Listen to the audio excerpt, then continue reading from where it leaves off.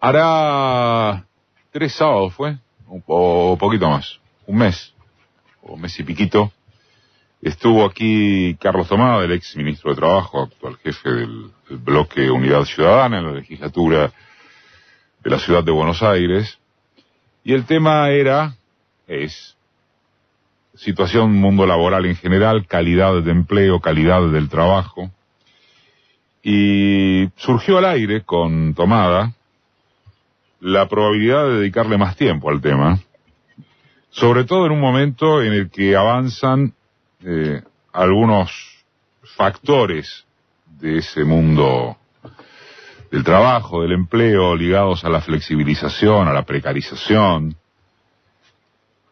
Y dijimos, bueno, bárbaro, y aquí está de vuelta tomada, pero en este caso además acompañado por el abogado laboralista Juan Manuel Otaviano, que es investigador del Centro de Estudios del Trabajo y el Desarrollo, el CETID. Y encima, justo, esto sí no lo calculamos, la presencia de ambos, y si se quiere en particular de Otaviano, coincide con una noticia de las últimas horas acerca de lo ocurrido con en el sindicato de aplicaciones de plataformas, ¿no? De personal de plataformas. De personal de plataformas. Eh, les propongo escuchar, gracias Carlos también por estar nuevamente, no, no. les propongo escuchar estos dos minutos y monedas de presentación temática. El primer conflicto en una plataforma, en una app, en una aplicación de celulares. En 80% estamos con personas que estamos a tiempo completo. Tiempo completo son 10 horas diarias, 7 días a la semana. Roger Rojas es titular de la Asociación de Personal de Plataformas, APS. Firmamos términos y condiciones digitales que ellos establecen. La facturación es directamente a ellos. Ellos nos depositan a nosotros cada 21 días. Tiene que ver con que mucha gente utiliza aplicaciones, utiliza... Globo es la app que te trae lo que quieras. La posibilidad de una, bueno, justamente, de, de, una aplicación para poder trabajar. Analizar la tecnología por sus ahorros en términos de supuestos costos laborales implica un desconocimiento no solo de cierta lógica económica, sino también de procesos de organización del trabajo y la producción que hacen de algunas de estas supuestas promesas una quimera. Allá del deseo de quien pide pizza a domicilio, que la misma sea entregada en la puerta y no tener que ir a buscarla abajo, hay una serie de factores que tornan la propuesta en poco viable, al menos en el corto plazo la nueva distopía tecnológica del capitalismo o la continuación de la lucha de clases por otros medios. Un artículo de Daniel Kostzer. Hay una idea, un proyecto con que ellos llegan, pero la realidad es otra. Este, nosotros tenemos relación directa con ellos, ellos, nosotros ponemos todos los recursos de trabajo, todos, el mantenimiento, los teléfonos celulares, los planes, eh, si nos sucede algo en la calle, cualquier tipo de accidente lo cubrimos nosotros. Y estas empresas lo que ponen son dos computadoras en una oficina que no es de ellos y se están haciendo millonarios. Y nosotros estamos viendo que en la calle estamos dando todo y no está siendo reconocido. En todo el humo de la economía colaborativa. Y salario fijo o mínimo no tenemos. En la calle disponible no nos garantizamos un, un, un salario, pues no tenemos. Hay días que pueden estar 10 horas y pueden hacer 200 pesos. Las imágenes esas que, que, estamos viendo acá en Buenos Aires, ¿es en Buenos Aires solamente o es Buenos en... Aires, Córdoba, Mar del Plata, Mendoza. Acércate Rosario. Buenos Aires, Córdoba, Mar del Plata, Mendoza, Rosario. Rosario. Eh, de virtuales, eh, ¿cómo, qué, ¿qué figura se puede encontrar? Porque me, me sale precarizado con grilletes, te aparece la imagen de esa gente en moto con una mochila de, de, de, de, pizzas cargada, corriendo de un lado para el otro, un símbolo quizás de la precarización, eh, quizá máximo, digo, por lo menos visualmente. Esto es lo que, lo que me parece, ¿no? Sí, digo, para, para entrar en, en el tema y Y no para hablar solamente de esto, ¿no? No, no. Estamos hablando de precarización en general, lo que pasa que en lo visual... Lo que pasa es que el debate, me parece que el debate que se nos viene planteando y que ahora estas imágenes que vos haces este, son son lo que empiezan a, a hacerlo bien visible. Eh, el decir que estamos transmitiendo en directo por Facebook Live también. ¿Ah? Bien. Este, es un, el debate sobre lo que se ha dado llamar el futuro del trabajo o el trabajo del futuro, y en realidad de lo que se trata es de poner en discusión y en acción para contener los daños de una simplificación que de lo cual esta, esta manifestación es la más clara, de que parecería que la presencia de la tecnología, la presencia de eh, nuevas demandas, heterogeneidad de demandas y demás se resuelven vía la precarización del trabajo. Y esto no es cierto. O por lo menos parecería que existe el camino de demostrar que puede haber nuevos servicios, nuevas tecnologías mezcladas con las nuevas demandas de, de la gente, pero con trabajadores protegidos. ¿Quién dijo que no? En el caso de los trabajadores de plataformas, eh, ¿eso explota en particular en el último tiempo a nivel de que de miles de trabajadores? Otaviano, El caso de Rappi, por ejemplo, Rappi, sí. que es una de las empresas de envío de productos a domicilio, desde febrero que apareció la aplicación hasta hoy, de febrero de este año. de febrero de este año que apareció la aplicación hasta hoy, se capacitaron, y entre comillas capacitaron, es decir, ingresaron a trabajar en la plataforma más de 15.000 repartidores. 15.000 de Eso- febrero ahora. Eso no quiere decir que haya 15.000 repartidores de manera permanente hoy en la calle. Por el contrario, lo que dice es que atravesaron esa aplicación 15.000 personas y la aplicación cada tres meses descarta. ¿no? de a miles a los repartidores. Eh, Hay un, hay un plazo de tres meses de rotación, ¿no? Porque al principio los trabajadores están a gusto, ¿no? Pueden ganar 15.000 pesos, 20.000 Yo te iba pesos a por preguntar, mes. ¿cuánto ganan? Al principio esas cifras. 15.000. Viajan, 15 lucas, trabajan 20. 10 horas por día o más y pueden Todos ganar los días, 15 ¿no? todos los días con horas Todos pico. los días quiere decir lunes horas, a lunes. con hora- de lunes a lunes, con horas pico, ¿no? Los horarios donde hay pedidos de gastronomía, la noche, sábados a la noche, viernes a la noche. Al principio es maravilloso, ¿no? Trabajan todo el tiempo, reciben viajes todo el tiempo, y la aplicación al mes, mes y medio, aplica filtros sobre los trabajadores que están hace más tiempo para asignarles menos pedidos. Y, y que se vayan. Como obviamente el bloqueo Y eso que es automático por, por programa. es un filtro, es un algoritmo. filtro, es un algoritmo. es un algoritmo que a los que están hace más tiempo le asigna menos viajes y le dice, mirá, ya se acabó tu tiempo, ahora anda a buscarte otra cosa, ¿no? Esa es la sugerencia de la aplicación, andate. Y como el despido o el bloqueo no tiene ningún costo porque no están registrados, están como cuentapropistas, ¿no? Con esa es la relación que tiene el repartidor con la, con la aplicación. Trabajan como cuentapropista. Entonces, irse no tiene ningún costo para la aplicación. Se van, vienen otros, otra y- y tanda vuelve, de miles. Otra tanda de esta- miles y, este- retoma el circuito. Y este circuito vuelve a empezar, pero con una expansión territorial ¿no? y de mercado de las aplicaciones en las ciudades aceleradísimo. Es decir, en febrero las dos aplicaciones de envíos de repartos a domicilio no estaban en Buenos Aires, aparecieron a fines de febrero y hoy son parte del paisaje urbano. ¿no? Sobre todo los trabajadores, que es esta figura, es terrible. esta, esta exhibición, esta exhibición de gente ¿Qué me dijiste? precarizada. Ahora es Buenos Aires, Rosario, Córdoba. Córdoba, en Mendoza, en Mar del Plata. Escúchame, y se armó un sindicato del cual vos, eh, ases- al cual vos asesoraste. ¿Qué pasó con eso? Sí, es, es interesante contar la historia de, de Roger, que es el, Roger Rojas. el que fue elegido delegado, digamos, primero y después secretario general de este, de este nuevo sindicato, que llegó a principio de año a, a la Argentina, ¿Es colombiano? es venezolano, de- Venezolano. De, Caracas, eh, vino expulsado de la crisis, digamos, eh, dejó a su familia y lo que quería era buscar un trabajo sencillo de, de comenzar, ¿no? Bueno, como todo migrante, ¿no? ¿Qué, cómo, ¿Cómo consiguió trabajo rápido? Bueno, están estas aplicaciones, lo recomendaron, empezó a trabajar y como te contaba, los primeros días, los primeros, el primer mes fue maravilloso. Fue el trabajador que más envíos realizó en la aplicación en el primer mes.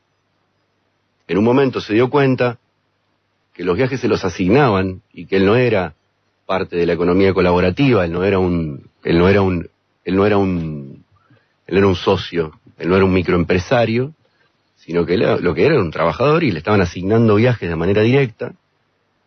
Fue consciente de la mentira, ¿no? De la mentira de estas aplicaciones que es suponer que no hay jerarquías entre, pongamos, Uber y un chofer, porque calificar de socio a un chofer de una multinacional es cuanto menos exagerado, digamos, pero supone que no hay jerarquías entre ellos. Ese, Pero, ese ¿no- es el no origen. entra dentro de la categoría de, de la figura simbólica del emprendedurismo.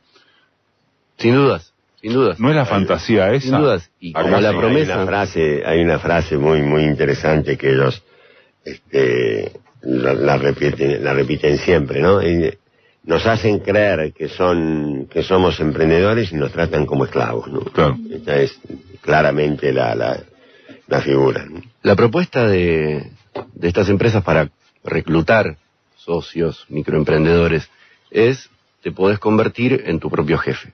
Ah, Podés ser como nosotros, tendría a ser, ¿no? Vas a estar a la par de la gran multinacional. De esta manera vas a gobernar tu tiempo, vas a gobernar eh, tu vida privada, podés trabajar cuando querés. Obviamente esto, al menos en estas plataformas, no es cierto, no tiene nada de colaborativo.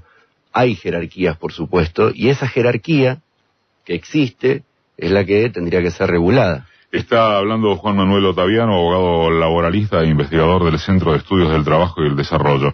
Ayer hubo, ayer o antes de ayer, hubo novedades con el tema de Rojas, que fue quien armó el sindicato, ¿no? Lo que sucedió es que, como tantas otras veces, el sindicato fue hasta la sede de la empresa Rappi, de donde están contratados la mayoría, la mayoría de los trabajadores que están organizados en este sindicato, fueron a la sede de la empresa a reclamar, a dialogar, a decir, bueno, vamos a pensar por lo menos la posibilidad que nos den una RT, Sí. porque no tienen seguro de riesgos, en algún tipo de salario fijo.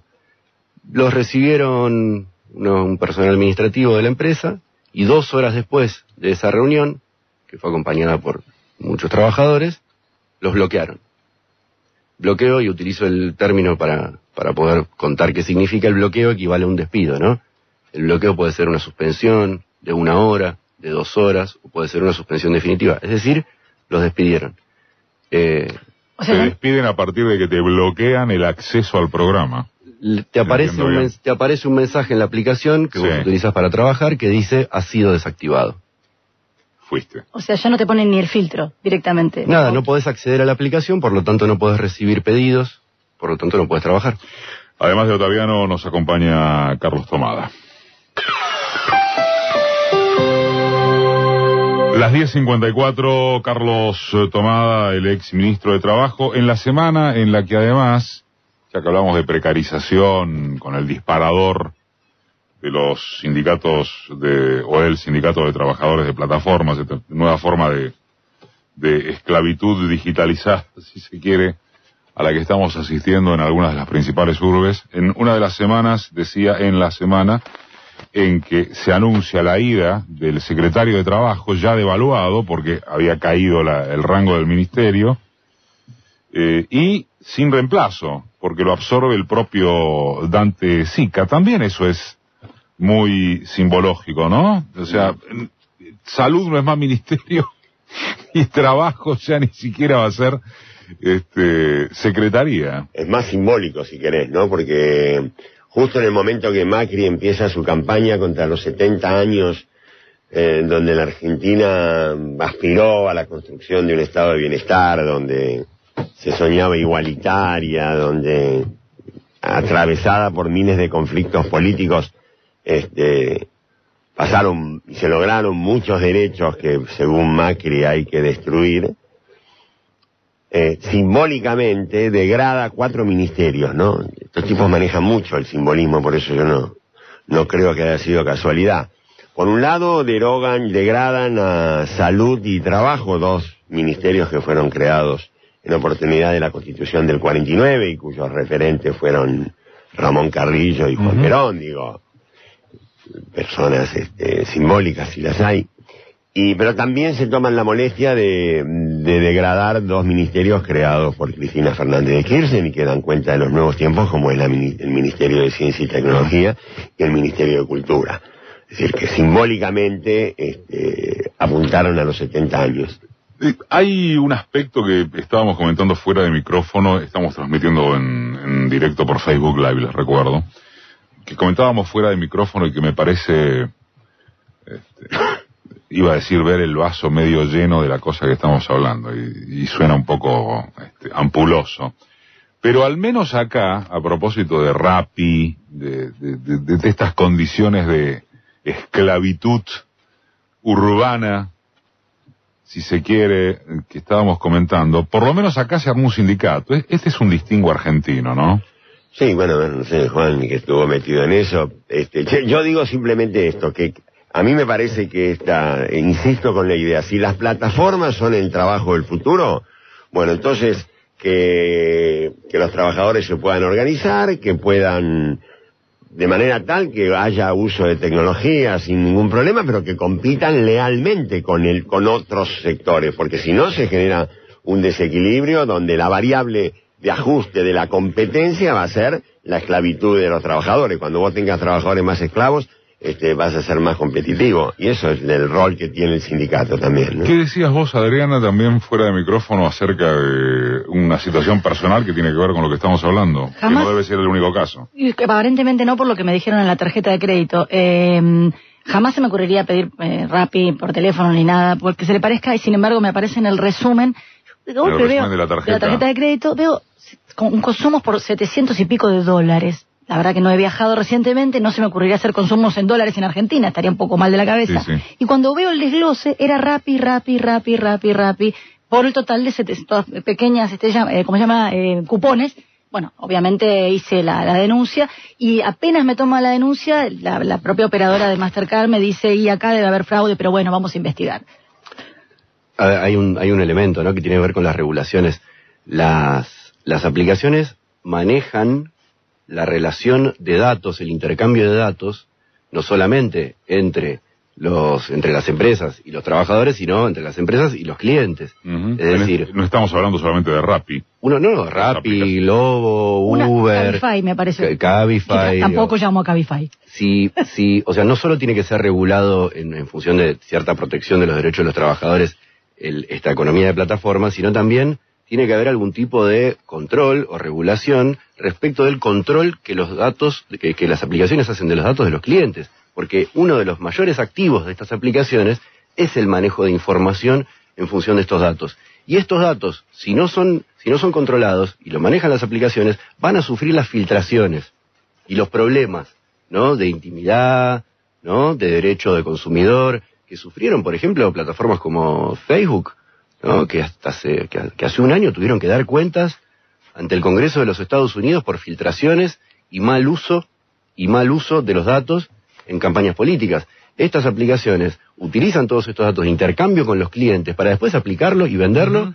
para otras empresas que utilizan las preferencias de consumo de los clientes para dirigir nuevas estrategias de mercado. Entonces, establecer algún tipo de coto sobre cómo tienen que ser administrados estos datos es la otra dimensión ¿no? del- del- de la economía de plataformas. ¿no? Después, Carlos, me gustaría que hablemos, va, me gustaría y, y es clave que lo hagamos, que, que lo hables, acerca de qué papel podría jugar el Estado en este sentido, ¿no? Bueno, yo creo, de- de- de- después no, De te, lo digo ahora, digo, este, Porque el, el Estado, bueno, es que lo que está en discusión, y no solamente en la Argentina, digámoslo, en el mundo, es si va a haber regulación, fíjate que hemos vuelto a la discusión de comienzo del siglo XIX, el retraso es inmenso, el retroceso para decirlo mejor, ¿por qué? Porque estamos discutiendo si tiene que haber trabajadores que estén con regulaciones protectorias o tiene que haber trabajadores que no tengan regulaciones protectorias. Esto es pre, pre-constitución de claro. pre-constitución social de México. El top indicó las 11, ahora seguimos. Las 11.03 lo despedimos, eh, tiene que ir justamente un congreso, simposio para hablar del tema flexibilizatorio Juan Manuel Otaviano, que recuerdo es abogado laboralista e investigador del Centro de Estudios del Trabajo y el Desarrollo. ¿Te vas en serio un- A la Facultad de Sociales. a las facultades sociales a exponer sobre, sobre este Con tema? el doctor Palomino, Ajá. amigo, amigo de la casa. Escúchame, eh, se prevé que este tipo, bueno, Carlos recién hablaba del tema, pero digo, se prevé que este tipo de, de, de aplicación va a expandirse en qué otros terrenos u áreas. Empezó en servicios. ¿no? Sí. Empezó el en caso es servicio. Rappi. El ca- Rappi, o- a ver, servicios de transporte urbano, servicios de reparto de productos o de envíos. Ahora, también está enlazado con el comercio electrónico. Mercado Libre, por ejemplo, está abriendo su propia plataforma para hacerle llegar a domicilio los productos que se intercambian, ¿no? A través de, de esta plataforma.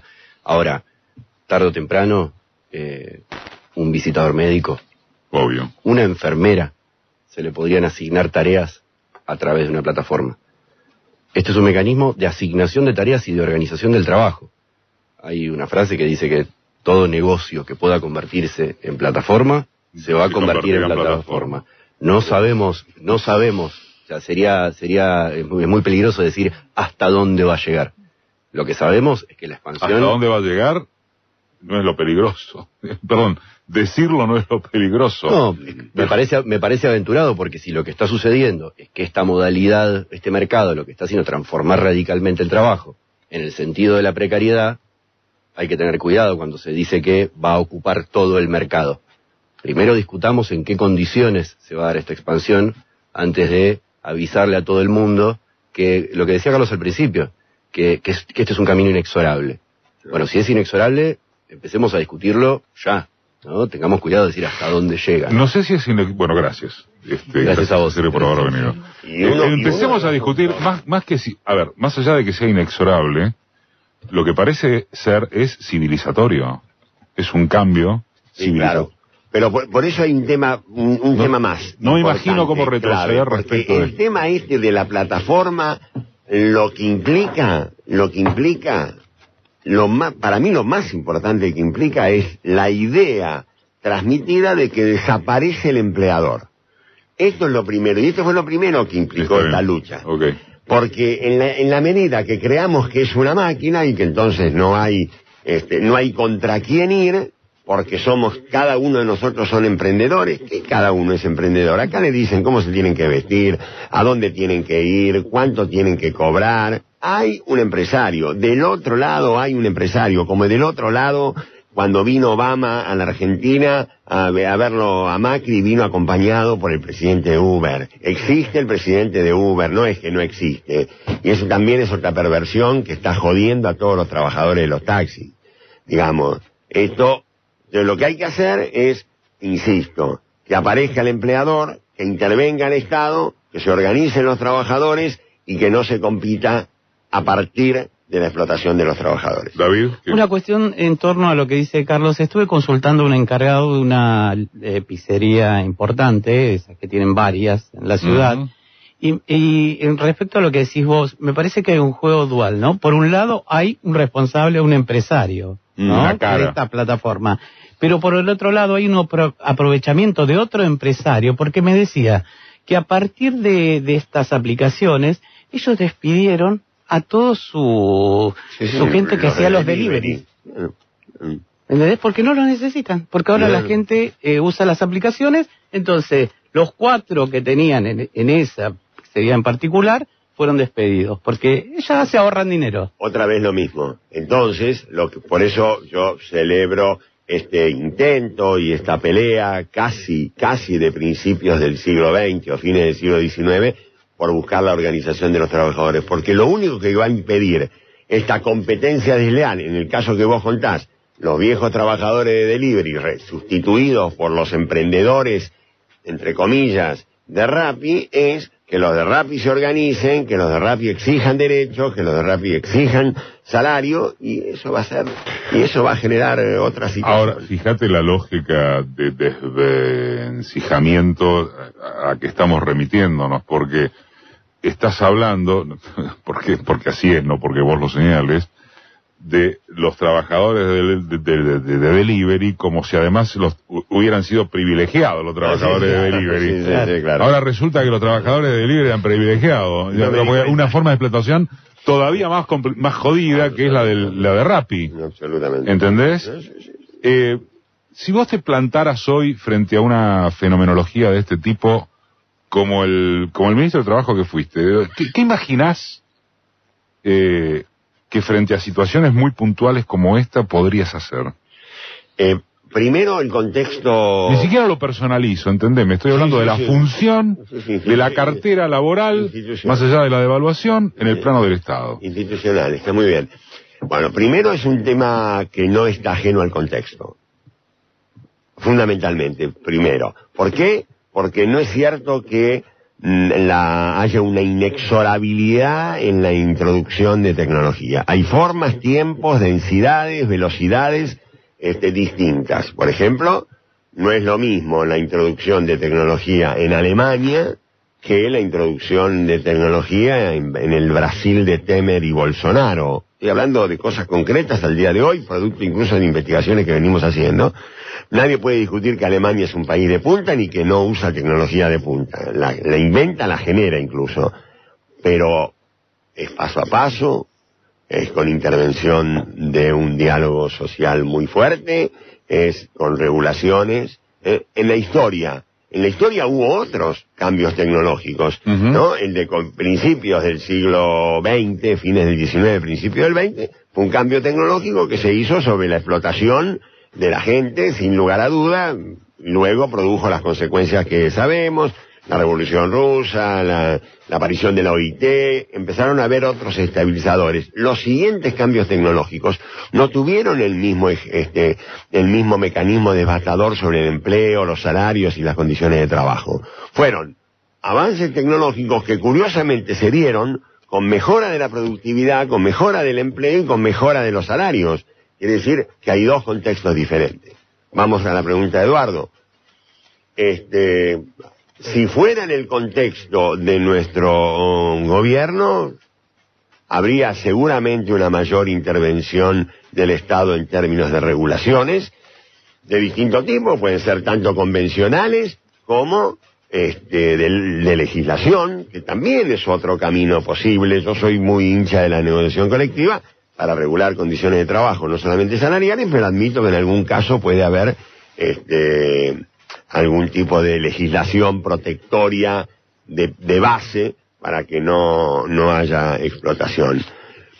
Intervendría en la identificación de, de la cuestión del empleador. Yo no, no, no compraría a libro cerrado la idea de que acá es una plataforma como si fuera una máquina donde nadie da órdenes.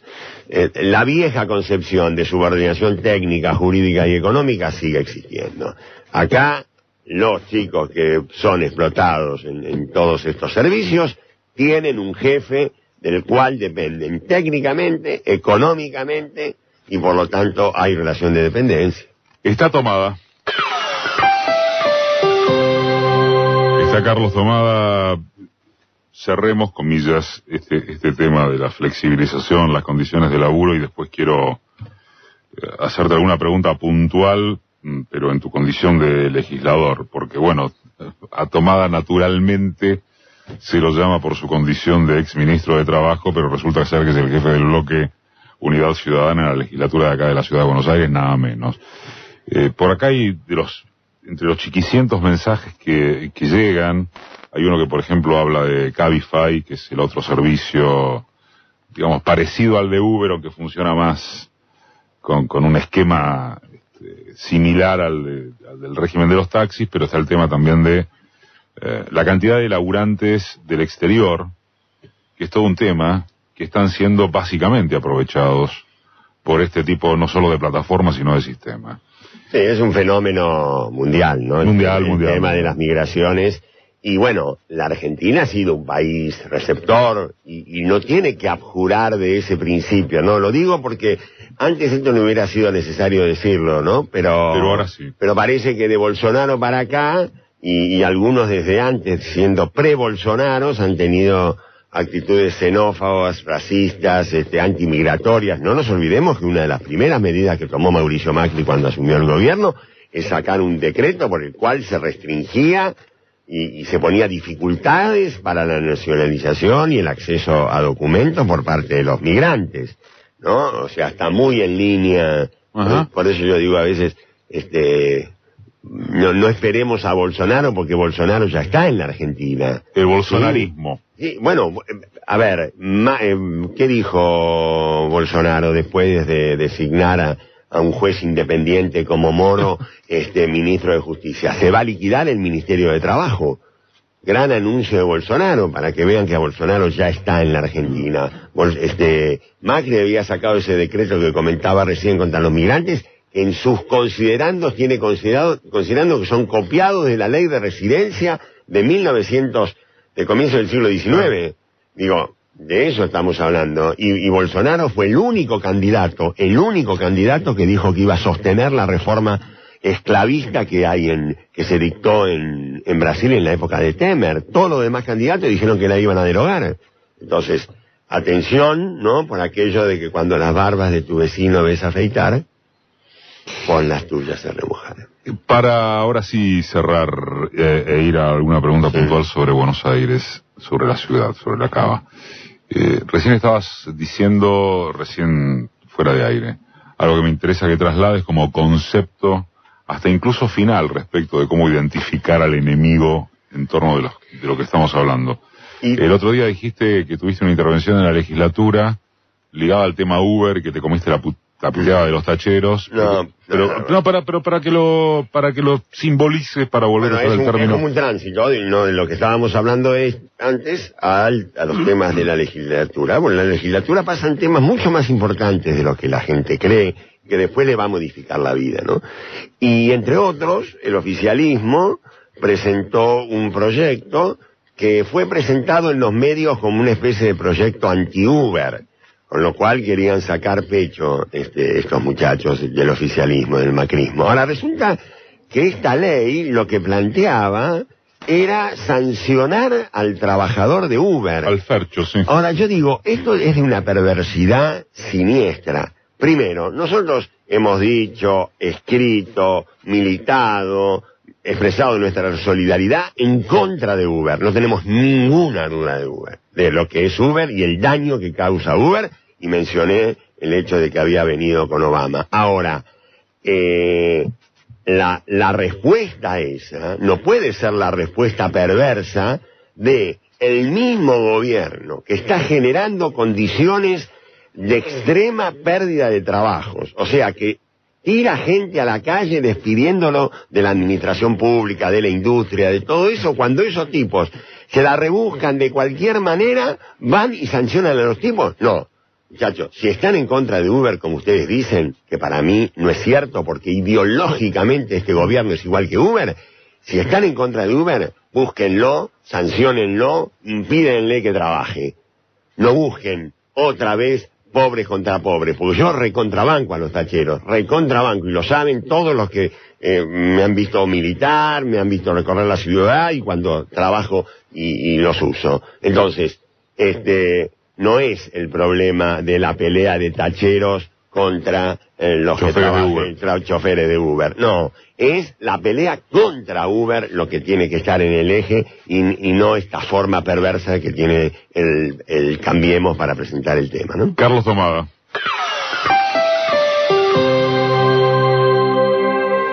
Las 11 y 21, un- eh, últimos minutos, eso quise decir, de Carlos Tomada, quien marca, eh, apro- aprovechándote ahora como, como legislador, ¿no? Como jefe del bloque de unidad ciudadana en la, en la legislatura. Hay un paquete temático que fuere que se trate del 5 por 1 en los hospitales, de eh, lo que pasa con tiro federal, la, eh, la mudanza al Parque Sarmiento del Instituto Romero Brest, bueno, etcétera, llevaría por título de qué manera se están perdiendo tierras fiscales en favor de, ¿cómo le llamamos? El negociado inmobiliario que propulsa el gobierno de la, de la ciudad. ¿Cómo se le contesta además a eso, no? Este, ¿Qué pasa en la legislatura con eso? Por- una cosa más, Carlos, vos recién hablabas de pasan cosas importantes en la legislatura, como seguramente pasarán en otras legislaturas, no solamente en la de Cava. Eh, y es al revés de lo que la gente pueda pensar. También es cierto que hay entre cero y uno de información sobre lo que pasa en la legislatura. eh, yo te quiero no existe el tema legislatura me, en los medios. Me diste, me diste un pie, eh, Eduardo. Eh, lo hago al micrófono. Bueno. Eh, pensaba decirte en privado, pero lo hago al micrófono. Este, yo te propongo que yo venga, y eventualmente algún compañero legislador, una vez por mes, si fuera necesario, 20 minutos y, y- y- y a contar las cosas de la legislatura de la ciudad de Buenos Aires. Este, nosotros generamos información muchísima, porque hoy se puede a través de redes, a través de... que no llega y, y ni siquiera en los medios que simpatizan con nosotros. Es muy difícil porque incluso después las noticias salen en los grandes diarios diciendo, y en todos los diarios, la legislatura aprobó. Y, y- y la- claro, em- empecemos por entender, sobre todo para los que están escuchando, que entiendan también que cuando se vota no se elige solamente al jefe de gobierno, cuando se vota se elige la conformación de la legislatura. Y desde que yo estoy ahí, ya cuando llegué por primera vez, el- la legislatura tenía el 50%. Y en la última elección, en del 2017, ahora tiene mayoría propia, quórum propio, mayoría especial, manejan las comisiones, tienen todo el manejo de todas las comisiones, entonces solamente llegan al recinto las leyes que ellos quieren. Digo, esta es la realidad cotidiana. Y si encima nosotros no estamos sentados en la legislatura todo el tiempo, recorremos los barrios, vamos a todos los conflictos, tratamos de movilizarnos, a veces hasta usando, entre comillas, cierta visibilidad un poco mayor que yo tengo.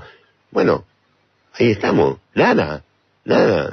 Yo entiendo lo que señala Eduardo con toda claridad. Lo- nos pasa cuando vamos a, a cualquier reunión, ¿no? Que después no nos dicen... A un barrio, A ponele. un barrio. Bueno, ahora, yendo al tema, que yo te diría que es uno de los temas más importantes de la ley, que pasan por la legislatura, que tiene que ver con el desarrollo urbano. Por empezar, nosotros en Unidad Ciudadana hemos decidido, este, desde un momento, cuatro temas esenciales en los cuales nosotros nos hacemos fuerte en la postura. El primero es desarrollo urbano que nosotros planteamos, desarrollo urbano inclusivo. Esto es, respeto del espacio público para ponerlo a disposición de todo lo que hay que hacer desde lo público, ¿no? Este, um, salas de salud, escuelas, lugares, más espacios verdes. La ciudad de Buenos Aires carece de espacios verdes, está lejísimo de lo que ha establecido internacionalmente cuál es lo ideal para una ciudad, lejísimo, y hay barrios que es nulo prácticamente el espacio verde. Nosotros, segundo tema, nos paramos en el tema de la participación ciudadana. ¿Por qué? Porque la, ciudad de Buenos Aires tiene un sistema que es de eh, CGPs, de comuneros y qué sé yo, que el gobierno de la ciudad desprecia, absolutamente. No quiere saber nada de lo que tiene que ver, no le da recursos, abandona el tema, para que no haya participación vecinal. La quiere sustituir con una berreta participación a través de la computadora. Y termino. Tercer Ter- tema, tercer tema, tercer tema, el tema de la ley de seguridad. En la legislatura el año pasado se votó una ley de seguridad democrática con, el- el- con grandes aportes de toda la oposición y nosotros exigimos que se cumpla. ¿Por qué exigimos que se cumpla? Porque esa ley es sistemáticamente violada por las- el- la política de seguridad en la ciudad de Buenos Aires.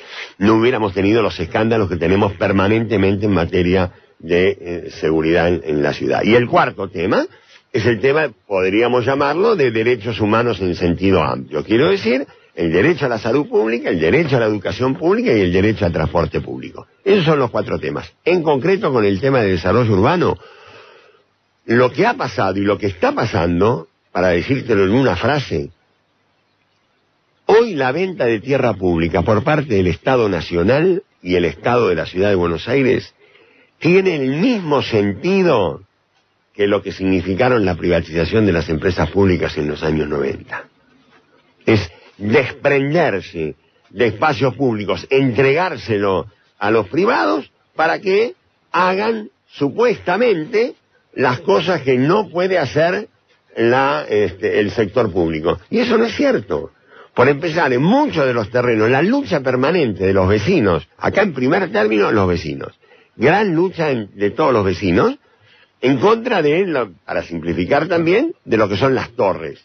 ¿eh? torres que cambian la ecuación de un barrio, torres que cambian los servicios del barrio, que deterioran la situación de, de- de vida cotidiana de los vecinos y que han proliferado y seguirán proliferando. Porque ¿qué hace la legislatura?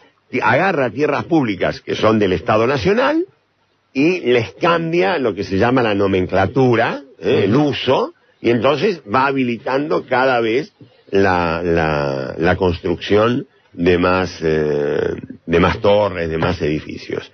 Bueno, tenemos pequeños éxitos, casi nulos, pero la verdad arrasan, levantando la mano, arrasan permanentemente con esto. Ahora sí se me va el tiempo, pero aunque sea así, tirame un título con lo que es la aprobación en las últimas horas de Unicaba, o sea, la Bueno, aprobación de la Universidad para Formación Docente que se supone liquida a todos los institutos de formación docente. te, te agradezco la pregunta también porque nos ha sido muy, muy difícil. Es que ha sido, es un hecho para mí casi inédito, ¿no? Porque es estar sacando una, una ley que ha sido resistida por toda la comunidad educativa, desde los directores de los institutos, desde todos los niveles de dirección de la enseñanza en la ciudad de Buenos Aires, desde todos los alumnos, desde todos los familiares de los alumnos y ni que hablar de los docentes. Significa liquidar, liquidar a 29 institutos de formación docente. Y yo llamaría la atención a esto, porque la pregunta es ¿por qué? ¿Cuál es el grado? ¿Por qué la UNICABA, crear una universidad, se supone pero es que, hay que saber, con- está bien lo, lo que es, pero hay que saber contestarle. Eso la otra vez lo hablábamos con Roxana también. Eh, Roxana, Roxana, por maneja el tema de- educativo acá en Marca. Porque hay que saber contestarle muy bien a ¿por qué no podría cre- crearse una universidad, nada menos que una universidad, que reemplace a 29 institutos de formación docente, no, no sé cuántos son. Lo, O sea, ¿cómo le contestás al, al sentido común de ¿y por qué se ponen a esto? Pero por, la pregunta primera es por qué quieren liquidar, por qué quieren liquidar los institutos docentes. Los institutos docentes, además hablo este, con particular compromiso porque yo soy hijo de una egresada de un instituto superior, mi vieja era profesora de historia, del Joaquín B. González.